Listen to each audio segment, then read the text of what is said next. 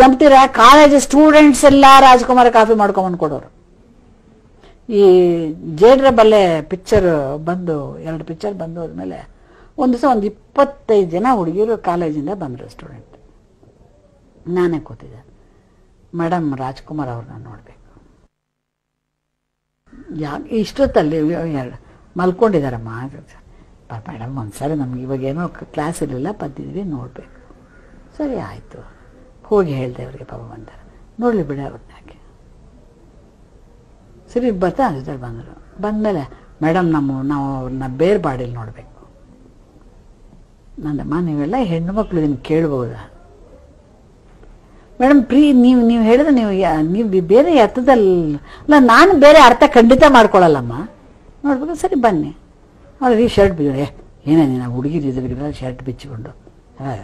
ನಾನು ಅವ್ರೇನೋ ನಿಮ್ಮ ಬಾಡಿ ನೋಡ್ಬೇಕಂತ ನಾನೇ ಒಪ್ಕೊಂಡಿದ್ದೀನಿ ನೀವು ಯಾಕೆ ಹೆಂಗೆ ಆಡ್ತೀರಿ? ಬಿಡಿ ನೋಡ್ಕೊಂಡು ಅವ್ರಿಗೆ ಇಷ್ಟ. ನಾನು ಅವ್ರನ್ನ ಕೇಳಿದೆ ಯಾಕಮ್ಮ ಈ ಬಾಡಿ ಮೇಲೆ ಏನಾದ್ರು ತಿರಿಗಿರಿ ಮಾಡ್ತೀರಾ? ತೀಸಿ ಗೀಸಿ ಏನಾದ್ರು ಮಾಡ್ತೀರಾ ನೀವು? ಅಂತ ಹೇಳಿದೆ. ಇಲ್ಲ ಅವ್ರಷ್ಟು ಚೆನ್ನಾಗಿ ಅಲ್ಲಿ ಕಾಣ್ತಲ್ಲ ಬೇಗ ಹಿಂಗೆ ಬಂದು ಹಿಂಗೆ ಹೊರಟೋಗುತ್ತಲ್ಲ ಮೇಡಮ್ ಇಲ್ಲಿ ನೋಡೋರು ಹೆಂಗಿರುತ್ತೆ. ನಿಜವಾಗಿ ಏನಾದ್ರು ಏನಾದ್ರು ಗಿಮಿಕ್ಸ್ ಮಾಡ್ತಾರಾ? ನಿಜವಾಗ್ಲೂ ಅಣ್ಣ ಶಾರೀರಂಗ್ ಇಟ್ಕೊಂಡಿದಾರ? ಶರೀರ ಹಂಗಿದ್ಯಾ? ಅದನ್ನ ನೋಡ್ಬೇಕು. ನಮ್ಗೆಲ್ಲ ಅವರು ಬ್ರದರ್ ಅಂಕಲ್ ಇದ್ದಂಗೆ. ಸರಿ ಆಯ್ತಮ್ಮ ನೋಡ್ಕೊಂಡು ಸರಿ ನೋಡ್ಕೊಂಡು ಯಜಮಾನ್ರು ಎಲ್ಲಾರನ್ನೂ ಆ ಥರ ಎಳೆದು ಇಟ್ಕೋತಿದ್ರು. ಹೌದು. ನೋಡಿ ಆ ಕಾಲದಲ್ಲಿ ರಾಜ್ಕುಮಾರ್ ಹೆಂಡತಿ ಪಾರ್ಟ್ ಮಾಡೋಳು ತಂಗಿ ಪಾರ್ಟ್ ಮಾಡಬಾರ್ದು. ತಂಗಿ ಪಾರ್ಟ್ ಮಾಡೋರು ಹೆಂಡತಿ ಪಾರ್ಟ್ ಮಾಡ್ ಆ ಪಿಕ್ಚರ್ ಸಕ್ಸಸ್ ಆಗ್ತಿರ್ಲಿಲ್ಲ. ಜನ ತಗೋತಿರ್ಲಿಲ್ಲ. ರಾಜ್ಕುಮಾರ್ ಸ್ಮೋಕ್ ಮಾಡಿದ್ರೆ ತಗೋತಿರ್ಲಿಲ್ಲ. ರಾಜ್ಕುಮಾರ್ ಕುಡಿದ್ರೆ ಸ್ಮೋಕ್ ಮಾಡಿದ್ರೆ ರಾಜ್ಕುಮಾರ್ ರೇಪ್ ಮಾಡಿದ್ರೆ ಪಿಕ್ಚರ್ ಹೋಗ್ತಿರ್ಲಿಲ್ಲ. ಸಾಧ್ಯನೇ ಇರಲ್ಲ. ರಾಜ್ಕುಮಾರ್ ಅವ್ರನ್ನ ಒಂದು- ರಾಜ್ಕುಮಾರ್ ಆತರ ಅದಕ್ಕೆ ನಮ್ಗೆ ಅವ್ರ ಕತೆ ಮಾಡಕ್ ಕಷ್ಟ ಆಗ್ತಿತ್ತು. ಆಮೇಲೆ ಆಮೇಲೆ ಆಮೇಲೆ ತುಂಬಾ ಕಷ್ಟ ಆಗ್ತಾ ಇತ್ತು. ಡ್ರಿಂಕ್ಸ್ ಇಲ್ಲ. ಒಂದು ಇಸ್ಪಿಟ್ ಆಡೋದಿಲ್ಲ. ಏನು ಮಾಡೋದಿಲ್ಲ. ಎಷ್ಟು ಕತೆ ಅಂತ ಮಾಡಕ್ಕಾಗುತ್ತೆ? ಬುದ್ಧಿಶಂಕರ್ ಇದನ್ನ ಹಾಕೋ ಬೇಡ ಅಂತೀರಾ? ಭಾರತಮ್ಮ ನೀವು. ಕತೆ ಮಾಡಿದ್ರೆ ನಾವೇನ್ ಕತೆ ಮಾಡೋದು ಹೇಳಿ? ಅದೇನ್ರಿ ಅದೆಲ್ಲ ಇದ್ರೇನೆ ಮನುಷ್ಯನ? ಇಲ್ದಿರ ಇಲ್ವಾ? ಇಲ್ವಾ? ಅಂತ ನಾನು ಗಲಾಟೆ ಮಾಡ್ತಾ ಇದ್ದೆ. ಆ ಥರ ರಾಜ್ಕುಮಾರ್ ಹಂಗೆ ಅವರು ಅದೇ ರಾಜ್ಕುಮಾರ್ ಹೇಳ್ತಾ ಇದ್ರು ಅವರೊಬ್ಬ ಮನೆ ಮಗನಾಗಿ, ಒಬ್ಬ ತಂದೆ ಆಗಿ ಒಬ್ಬ ಒಬ್ಬರು ತಾತನಾಗಿ ನನ್ನನ್ನು ಸ್ವೀಕರಿಸಿದ್ದಾರೆ.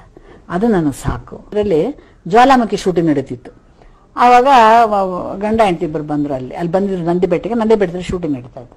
ಬಂದಮೇಲೆ ಅವಳು ಬಂದು ನೋಡಿ ಮೇಡಮ್, ಅವಳು ಅವರು ರಾಜ್ಕುಮಾರ್ ಕೈಗೆ ಮುತ್ತು ಕೊಡ್ತಾಳಂತೆ. ದಯವಿಟ್ಟು ನೀವೇನು ಬೇಜಾರು ಮಾಡ್ಕೋಬೇಡಿ. ಅಲ್ಲ ಕಡೆ ನೀನು ಅವಳು ಗಂಡ. ನೀನೇ ಅದನ್ನ ಹೇಳ್ತಿರ್ಬೇಕಾದ್ರೆ ನಾನು ಯಾಕೆ ಬೇಡ ಅಂದೆ.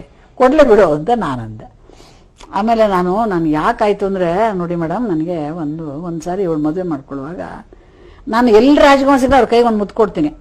ಹಂಗಾದ್ರೆ ನೀನು ನನ್ನ ಮದುವೆ ಮಾಡಿದ್ರೆ ನಾನು ಮದುವೆ ಮಾಡ್ಕೊಳ್ಳೋಣ ಅಂತ ಕಂಡೀಷನ್ ಹಾಕೊಂಡು ಅವ್ಳು ಮದುವೆ ಮಾಡ್ಕೊಂಡಿಲ್ಲ ಅಂತ ಆಮೇಲೆ ಅವ್ಳ ಕೈ ಮುಟ್ಬಿಟ್ಟು ಅವಳುಗಳು ಅಂದ್ಬಿಡ್ತು ಅಯ್ಯೋ, ಅಣ್ಣ ಅಂತ ಎರಡು ಕಾಲು ಹಿಡ್ಕೊಂಡು. ಅವಾಗ ನಾ ಯಜಮಾನ ಹೇಳ್ತೀನಿ ನೋಡು, ಈ ಥರನೂ ಜನ ಇದ್ದಾರೆ. ರಾಜ್ಕುಮಾರ್ ಮದುವೆ ಕರೆಸ್ತೀರಾ, ನಾನು ಮದುವೆಗೆ ಒಪ್ಕೋತೀನಿ. ವರದಕ್ಷಿಣೆ ಬೇಕಾದ್ರೆ ಬಿಟ್ಬಿಡ್ತೀವಿ. ಅದು ಒಂದು ಕಾಲದಲ್ಲಿ ನಡೀತು. ಅವಾಗ ಎಷ್ಟೇ ಕಷ್ಟ ಆದರೂ ರಾಜ್ಕುಮಾರ್ ಸ್ವಂತ ಖರ್ಚಲ್ಲಿ ಬಂದು ಹೋಗ್ತಿದ್ರು. ಇವತ್ತು ಎಲ್ಲೇ ಫಂಕ್ಷನ್ಗೆ ಹೋಗ್ಲಿ, ರಾಜ್ಕುಮಾರ್ ಯಾವತ್ತು ದುಡ್ಡು, ಕಾರು ಮಾಡಿಸ್ಕೊಂಡಿದ್ದು ನನಗೆ ಗೊತ್ತೇ ಇಲ್ಲ. ಅವತ್ತೂ ಇಲ್ಲ, ಇವತ್ತೂ ಇಲ್ಲ.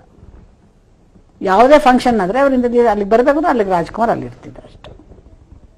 ಆಮೇಲೆ ಅದರಲ್ಲಿ ನಾವು ಕಾರ್ಗೆ, ಮೊದಲಾರು ಕಾರ್ ಇರ್ತಿಲ್ಲ ಅವ್ರು ಹೋಗ್ಬೇಕಾಗಿತ್ತು ಅವ್ರ ಕಾರಲ್ಲಿ. ನಮ್ಮ ಕಾರ್ಗಿರೆಲ್ಲ ಬಂದಮೇಲೆ ನಮ್ಮದೇ ಕಾರು. ಅವ್ರಿಗೂ ನಾನು ಅದರಲ್ಲಿ ಹೊರೆ ಆಗಬಾರ್ದು. ಎಲ್ಲ ಎಲ್ಲ ಕಡೆ ನೀವು ಡೆಲ್ಲಿಗೆ ಹೋಗಿ ಬಾಂಬೆಗೆ ಹೋಗಿ ಎಲ್ಲರೂ ಎಲ್ಲಿರ್ತಾರೆ ಹೋಟ್ಲಲ್ಲಿ? ಸಣ್ಣ ಹೋಟ್ಲ್ ಅವ್ರು ಅಲ್ಲೇ ಸರಿ ಗುಲ್ಬರ್ಗ ಸ್ಟೇಟ್ ಅವಾರ್ಡ್ ಫಂಕ್ಷನ್ ಆದಾಗ. ನಾವೆಲ್ಲ ಸೆಕೆಂಡ್ ಕ್ಲಾಸ್ ಟ್ರೈನ್ ಅಲ್ಲಿ ಅಣ್ಣ ಎಲ್ಲ ಒಟ್ಟಿಗೆ ಹೋಗಿದ್ದು. ಬೇಡಿ ಬೇಡಿ ಅಂದ್ರೆ ಹೈದರಾಬಾದ್ ಫ್ಲೈಟ್ ಅಲ್ಲಿ ಬನ್ನಿ ಅಂದ್ರು. ಇಲ್ಲ ಇಲ್ಲ ಎಲ್ಲರ ಜೊತೆ ಅವ್ರು ಹೇಳಿದ್ರೆ ಫಸ್ಟ್ ಕ್ಲಾಸ್ ಆಗ್ತೀವಿ ಅಯ್ಯ ನನಗೆ ನಮ್ ಜನ ಇರೋ ಜಾಗ ಬೇಕು ನಾನು ಇಲ್ಲೇ ಬರ್ತೀನಿ. ಆತರ ಅವ್ರು ಯಾವಾಗ್ಲೂ ನಾವೊಂದು ನಾಟಕಕ್ಕೆ ಹೋಗುವಾಗ ಬೋಗಿ ಮಾಡ್ತಾ ಇದ್ವಿ. ಒಂದೇ ಬೋಗಿ ಎಲ್ಲರೂ ಮೂವತ್ತೈದು ಜನ. ನನಗೆ ಚೆನ್ನಾಗಿ ಜ್ಞಾಪಕ. ಮೂವತ್ತೈದು ಸೀಟ್ ಅದೊಂದು ಭೋಗಿ ಮಾಡ್ತಾ ಇದೆ ಆ ಭೋಗಿ ಕೂತ್ಕೊಳ್ಳೋದು, ಮಲ್ಕೊಳ್ಳೋದು ಬೇರೆ ಯಾರು ಹೊತ್ತೋಗೂ ಇಲ್ಲ, ಏನೂ ಇಲ್ಲ. ತುಂಬಾ ಚೆನ್ನಾಗಿ. ಆದ್ರೆ ಅವ್ರಿಗೆ ಅವರಿಗೆ ಇದು ವೃದ್ಧಾವನಲ್ಲಿ ಹೋಗೋದಂದ್ರೆ ತುಂಬಾ ಇಷ್ಟ. ಅದಕ್ಕೆ ಅವ್ರು ಕಂಟೋನ್ಮೆಂಟ್ ಸ್ಟೇಷನಲ್ಲಿ ಹತ್ಸ್ಕೊಳ್ಳೋ ಹತ್ಸೋದು ಅವ್ರನ್ನ ನಾವು ಇಳಿತಿದ್ದು ಕ, ಮೆಡ್ರಾಸಿಂದ ಬರೋ ಬೃಂದಾವನಟಾಗೆ ಅವ್ರಿಗೆ ಏನು ಇಷ್ಟ ಅಲ್ಲಿ ಅಂದರೆ ಅಲ್ಲಿ ಉದ್ದಕ್ಕೂ ತಿಂಡಿ ಬರ್ತಾರಲ್ಲ. ಅದಕ್ಕೆ ಅವತ್ತು ಹೋಗಿ ಹೊರಟ ದಿವಸ ಇವರೇ ಒಂದು ನಾಲ್ಕೈದಾರು ಜನ ಕರ್ಕೊಳ್ಳೋ ಟಿಕೆಟ್ ಹಾಕಿ. ಆಮೇಲೆ ಇನ್ನೇನಾರು ಸಿಕ್ಬಿಟ್ರೆ ಜೋಬಲ್ಲಿ ಒಂದಷ್ಟು ಚಿಲ್ಲರೆ. ಹತ್ತು ರೂಪಾಯಿ ಐವತ್ತು ರೂಪಾಯಿ ಮಾಡಿ ಜಬ್ಬು ಕೊಟ್ಬಿಡ್ಬೇಕು. ಕೊಟ್ರೆ ಅಲ್ಲಿ ಹೋಗೋದು ಬರೋದನ್ನೆಲ್ಲ ಕೊಡಿಸ್ತಾ ಇರಬೇಕು ತಿಂತಾ ಇರಬೇಕು ಓಡಾಡ್ತಾ ಇರಬೇಕು. ಆನಂದವಾಗಿ ಟ್ರೈನಲ್ಲಿ ಬಂದಿರೋದು ಅಲ್ಲಿ ಹೇಳಿದ ತಕ್ಷಣ ಅಪ್ಪ ಇನ್ನೊಂದು ಟೂ ಅವರ್ಸ್ ಲೇಟ್ ಆಗಬಾರ್ದಾಗಿತ್ತು ಆ ಟ್ರೈನು ಅಷ್ಟು ಇಷ್ಟ ಅವ್ರಿಗೆ. ಎಲ್ಲರೂ ತಿನ್ಬೇಕು ಎಲ್ಲರೂ ಒಟ್ಟಿಗೆ ಊಟ ಮಾಡಬೇಕು ಎಲ್ಲರೂ ಒಟ್ಟಿಗೆ ಇರಬೇಕು.